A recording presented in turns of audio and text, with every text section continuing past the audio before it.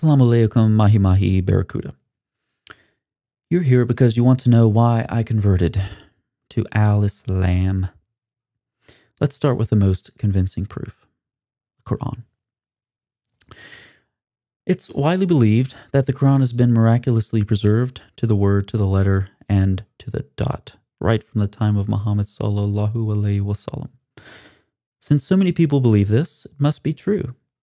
In fact, the Quran was so well preserved that Uthman respectfully burned some other Qurans in his lifetime so that there would be fewer copies of the miraculously preserved Quran so that the other scriptures wouldn't look so bad in comparison.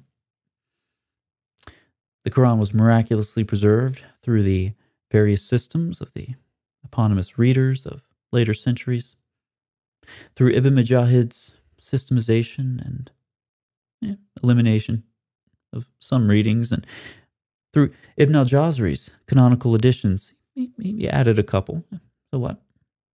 And right through the 1924 standardization, where it was saved, saved from being respectfully dumped in the Nile with some of the other Qurans that weren't so well preserved.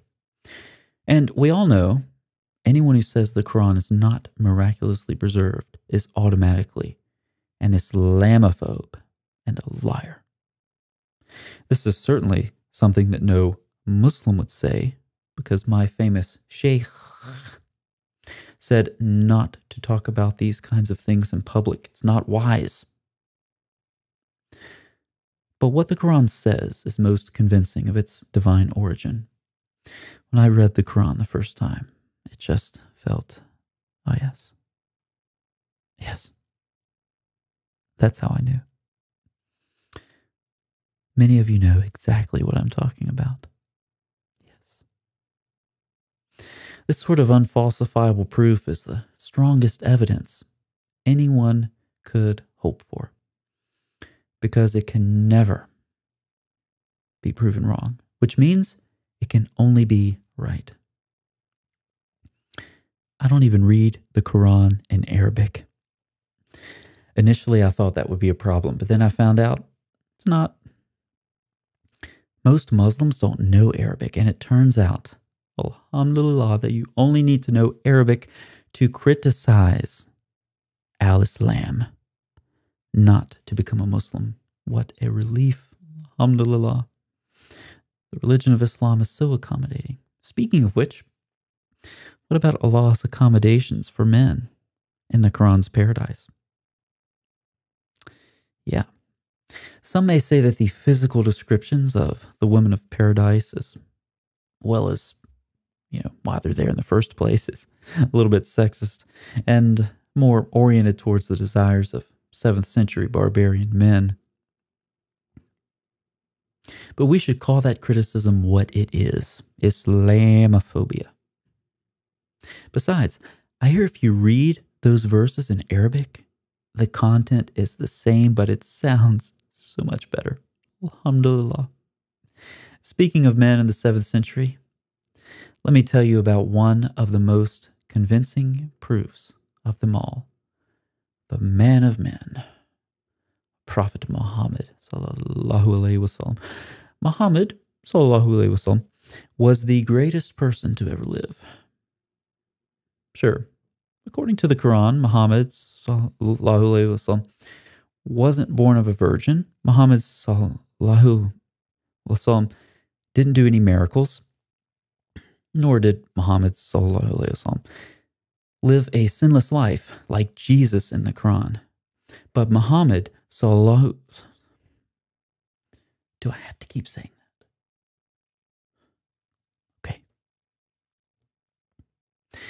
But Muhammad wasallam is still pretty special.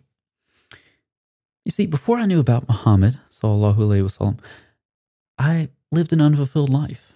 I only had one not really young wife, and I didn't even beat her. no wonder we had so many problems. Also, I didn't know to kill apostates, to peacefully fight people who don't believe what I do, or to wage jihad, or to hate the Jews, who happen to be the descendants of monkeys and pigs. I didn't know that the sun sets in a spring of muddy water or that shooting stars are missiles to scare off demons. I didn't know that I'm supposed to dip a fly into my drink to neutralize the disease on one wing with a cure on the other, or that a baby's appearance is determined by which parent discharges first. Now, true, science appears to contradict these obvious facts, but we should call that what it is, right? Islamophobia. As soon as scientists realize the truth of Al Islam, they'll come around to seeing the miraculous scientific knowledge of Muhammad sallallahu alaihi wasallam. Soon everyone will be dipping flies in their drinks, waiting eagerly for the day when super high powered telescopes are developed that can actually see the demons that the shooting stars are chasing. Alhamdulillah, what a day that will be. But the best proof of Muhammad Salah, oh, forget it. His prophethood is his sexual potency. Everyone knows that a true prophet from God is going to be good in bed. And Muhammad could satisfy all of his wives in one night, wallahi. And there were lots of them. Sometimes he didn't even stop to take a bath in between. Now, you would think, with all that divine, prophetically induced intercourse, that Muhammad would have a lot of sons. nope. Male heirs could mean that Muhammad wouldn't be the final prophet. So they died young. All of them. This is clear proof of Muhammad's prophethood. It's so clear that we don't even need to talk about the moles on his back.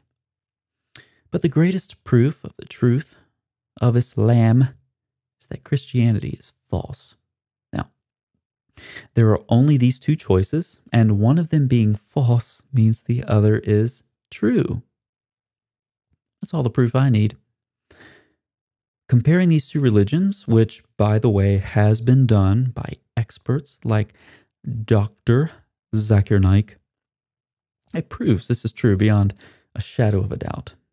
And logically, since Christianity being false also means that Islam is true, we can go even further and say that the Bible being corrupted also means that the Quran has been miraculously preserved. More proof. And the same people who tell me the Quran is miraculously preserved are the people who tell me that the Bible is hopelessly corrupted. So I know they aren't lying. It all makes sense. Alhamdulillah. Allah saved all of his preservation power for the Quran and didn't waste any of it on the previous scriptures. This means that the Quran is extra preserved. Now, these things, I'm told to believe, have flourished in Islamic peer reviewed echo chambers for centuries, where they've evolved completely free of bothersome things like scrutiny and questioning. Now, in case that was too technical for you, I'll put it in layman's terms. These claims have stood the test of time. But be careful when comparing Christianity and Islam. Those Christians are really sneaky. Get this. They read what Islamic sources say, but they don't reinterpret them in a way that aligns with our presuppositions about what our sources should say. And if Christians reading the Quran say that it means something different from what millions of Muslims who don't read the Quran think that the Quran should say, then clearly the Christians are wrong. That's according to my Imam. I don't actually come up with these answers. I just repeat what he says. That's what my sheikh told me to do. He said thinking on my own is dangerous. Some of those sneaky Christians they even say that the Quran actually speaks approvingly of the Bible. But we should call that claim what it is Islamophobia. The Quran is clearly speaking highly of another Torah and gospel that nobody has ever heard of. This is the best explanation because it's both ad hoc and unfalsifiable. And ad hoc explanations make me feel good. And feeling good is proof of the truth of Al Lamb. I hope this video has clearly described to you why I converted to Islam. Once converting, you can stay a Muslim by ensuring you don't question the faith. For example, when you encounter a, a troubling verse in the Quran, if you happen to read it, you don't need to. But if it happens, just say, Allah knows best. And simply disregard any of the hundreds of hadith that are no longer defensible in the modern world. And,